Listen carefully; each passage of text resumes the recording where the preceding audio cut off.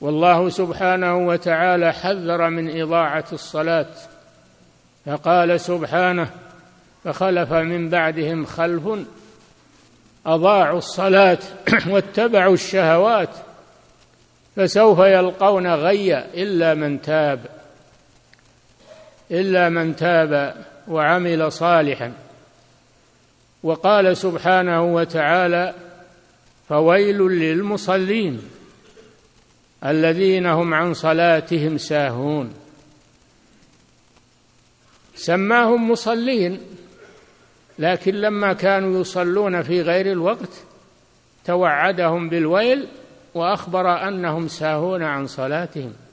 فإضاعة الصلاة والنهي آه، فإضاعة الصلاة والسهو عنها معناه إخراجها عن وقتها. من غير عذر شرعي. فلا تقبل حينئذ. فقد أضاعها من يفعل هذه الأفعال ويتشاغل عنها. من الناس من يحتج بالنوم. يسهر الليل ولا يبالي بالصلاة. فينام ويقول متى يقول متى ما استيقظت أصلي. ليس الأمر في ليس الأمر بيدك. الأمر بيد الله سبحانه وتعالى. الصلاة إنما تكون في الوقت ولا تقبل في غيره لا تقبل في غير الوقت من غير عذر شرعي وليس النوم عذرا شرعيا لكل أحد.